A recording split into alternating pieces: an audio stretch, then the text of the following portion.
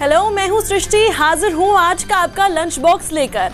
अगले एक घंटे तक हम फ़िल्म इंडस्ट्री की हर छोटी बड़ी खबर आप तक पहुँचाएँगे। इसलिए आप बने रहिए हमारे साथ। बुलेटिन की शुरुआत सलमान खान से करते हैं। सलमान अपनी फिट और हिट बॉडी के लिए मशहूर हैं।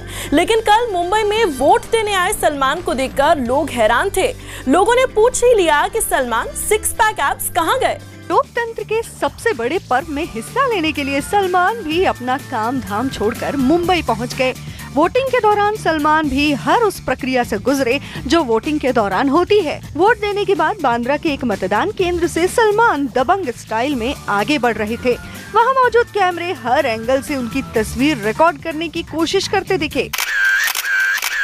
लेकिन इस बीच कैमरे में कुछ ऐसा रिकॉर्ड हो गया, जिसे लेकर सलमान ट्रोल के निशाने पर आ गए।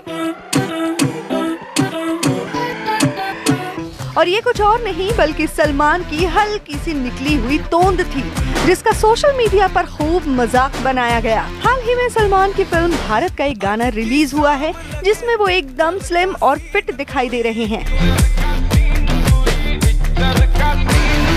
लेकिन असल ज़िंदगी में जब उनकी हल्की तूंद दिखी तो ट्रोल ने मौका हाथ से जा लिखा, भाई का पेट निकल आया है। तो किसी ने लिखा, जरा उनकी तोंद देखो। तो किसी ने उनकी उम्र पर भी निशाना साधा। वहीं किसी ने सवाल कर दिया, क्या ये सही में एक्टर हैं? घंटों जिम में पसीना बहाने वाले सलमान के सिक्स पैक एब्स पर भी सवाल उठाते हुए लिखा गया, नहीं रहे सिक्स पैक तो किसी ने चुटकी ली, भाईजान के सिक्स पैक ज़्यादा बाहर आ रहे हैं। सलमान की पर्सनैलिटी के अहम हिस्से बॉडी को लेकर मज़ाक बनाया गया जो सलमान के लिए बड़ी बात है। बॉडी बिल्डिंग और सिक्स पैक एब्स सलमान के लिए बाएँ हाथ का खेल है ये सभी जानते हैं। माँ ने कहा है कि सिक्स पैक ला के दिखाओ दो मुझे जो कि तुम्हारे लिए सिंपल होगा। जो कि है जो कि है तो वो अब ला के दिखाना पड़ेगा उनको।